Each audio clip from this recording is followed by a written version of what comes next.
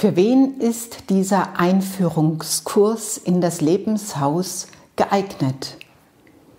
Wenn du mich und meine Arbeit kennenlernen möchtest oder wenn du einfach neugierig bist auf dein Leben und ohne großes Vorwissen dein eigenes Lebenshaus als Mindmap erstellen möchtest und dir dabei deiner Stärken und Ressourcen aus den verschiedenen Lebensabschnitten bewusst werden möchtest und diese als Stärkungssätze und Kraftquellen formulieren möchtest, so dass sie dich in deinem Alltag unterstützen werden, dann bist du hier richtig. Herzlich willkommen zum Einführungskurs ins Lebenshaus der Jahr siebte.